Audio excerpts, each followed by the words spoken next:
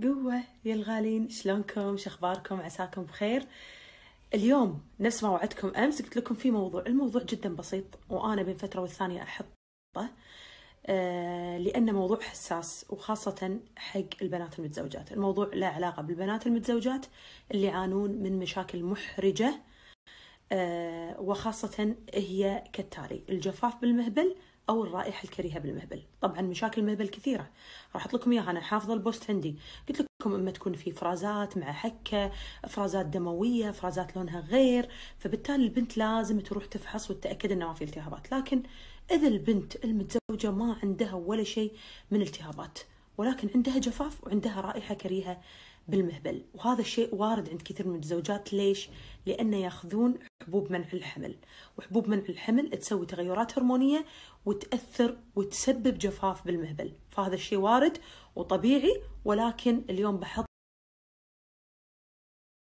السناب اللي طافت حطيت لكم أهم مشاكل المهبل.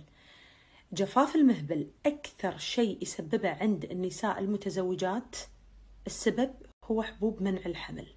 للتغيرات الهرمونية اللي ممكن يسببها. فبالتالي المرأة ممكن تجيب ياهل ياهلين ثلاث بعدها شنو؟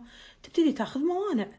أو ممكن من البداية قاعد تاخذ موانع. فبالتالي يأثر التغيير الهرموني على درجة رطوبة المهبل. فيصير في جفاف. فراح أحط لكم أهم سبب لجفاف المهبل أول شيء. والبنت أول ما تبتدي تصير عندها المشكلة ما تقعد. تبي تحل المشكلة إن مسبت لها إحراج. جفاف تبي تحط مثلا دهانات معينة تأخذها وتكون ريحتها حلوة. أو تبتدي تستخدم حق الرائحة الكريهة بالمهبل بعض أنواع الغسول الداخلي. أنا حطيت لكم مرة نوع يحافظ على مستوى البي اتش أو معدل الحموضة داخل المهبل. يكون خارجي في بنات تستخدم الداخلي وكثير منهم يكون ذات جودة رديئة. بالتالي شو يسوي؟ يغير من ال pH ال physiological pH بالمهبل وهذا يأثر على نمو البكتيريا عندها وتدش بمشكلة ثانية. بدال لا تبتدي ترطب بدون مشاكل يبتدي بالتالي افرازات ورائحة كريهة زيادة. فبالتالي أنا ليش أحط مثال؟ أنا ترى من بديت ال social media يمكن هذا أول مثال حطيته. تي بريفا. هذه التحاميل أنا دائما أحطها. بقول لكم باختصار عن هذه التحاميل وميزتها. هذه تستخدم عند النساء المتزوجات لترطيب الحلوه هذه تي بريفا هي عبارة عن تحاميل نسائية. شوفوا تيني لافندر. طبعا الروائح هذه كلها عضوية مو كيميائية ها؟ فانيلا وفراولة. عبارة عن تحاميل مهبلية تقدر تستخدمها البنت المتزوجة. شايفين؟ كذي تصير.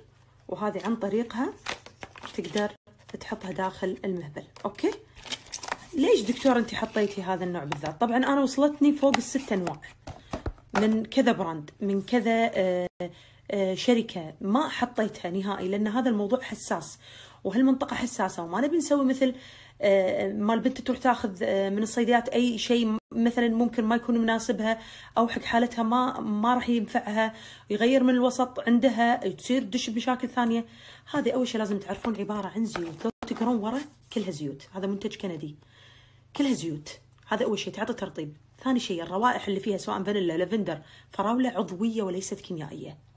فهل هذا يعتبر أحد الحلول؟ طبعا لأن البنت بالنهاية تبي شنو؟ تبي شيء يرطب وقاعد تستخدم كريمات هي بنفسها أو تبي ريحة حلوة وقاعد تستخدم عطور بالمنطقة الداخلية وحساسة وقاعد يكون فيها مواد كيميائية، يعني عطور غير عضوية، هذه عطور عضوية. وعلى فكرة هذا المنتج ما كان موجود إلا بكندا.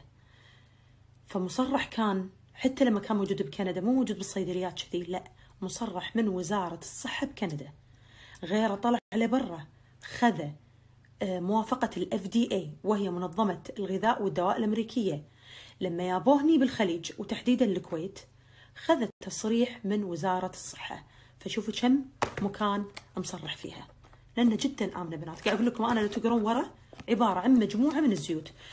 وندري إحنا كثير من البنات تعاني من هذه المشاكل. فإذا أنت عندك جفاف أو رائحة من المهبل أرشح لك هذه الأسباب اللي قلتها. راح أحط لكم كل شيء عنها بنات لا تحاتون بس أنا بقول لكم شغلة. هي متوفرة المكان اللي ترتاحين لخذيها منها. للأمانة العروض نفس ما قلت لكم على موجودة بصيدليات Boots موجودة بصيدليات رويال موجودة بصيدليات فارمازون. كل الصيدليات الموجوده أنا كتبتها لكم ورتبتها لكم. أما خارجيا ترى لا تعطون نفس العروض اللي راح تأخذونها مثلا علبتين وعلبة ثالثة مجانا يعني مثلا تاخذون الفراوله آه، والفانيلا يطلع لكم اللافندر مجانا. هذا العرض ساري سواء داخل الكويت أو خارج الكويت. وحتى حق الضغط الكبير اللي صار يوم تكلمت عنها بالسعودية يوصل لكم لباب البيت خلال يومين. راح أحط لكم كل شيء تخصها وفعلا هذا الشيء يستاهل ولو ما يستاهل ما حطيته. وإن شاء الله إن شاء الله تلقون منه فائده وتدعوا لي.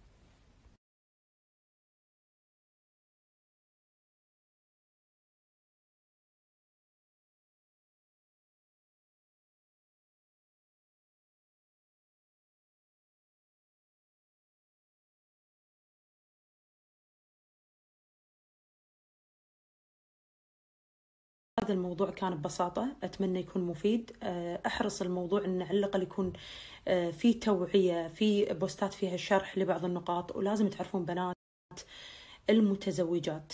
أي إفرازات دموية بين فترة الدورة العادية والدورة اللي بعدها لازم تراجعين طبيبتك لازم تسوين فحص. آه، إذا عندك إفرازات سمكها مختلف فيها رائحة كريهة تصاحبها حكة شديدة لازم تراجعين طبيبتك.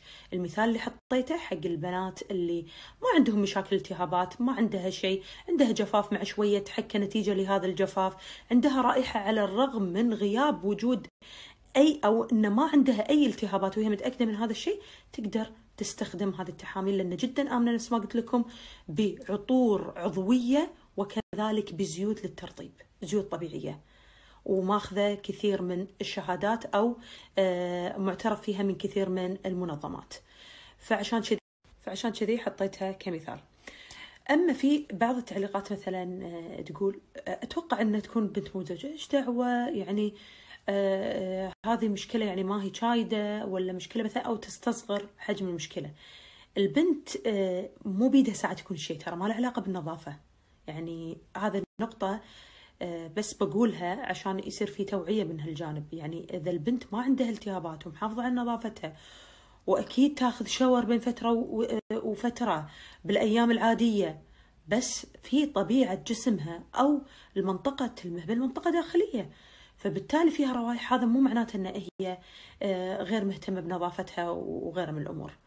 والدليل أن بعض الأجسام تطلع روايح مع أن تسبح وتحط عطور وغيرها. فبالتالي وجدت الحلول هذه. ومو عيب ومو غلط عرفتوا؟ فهذا حق بعض التعليقات اللي يتكلمون. لا تستصغرون الموضوع الموضوع جدا حساس.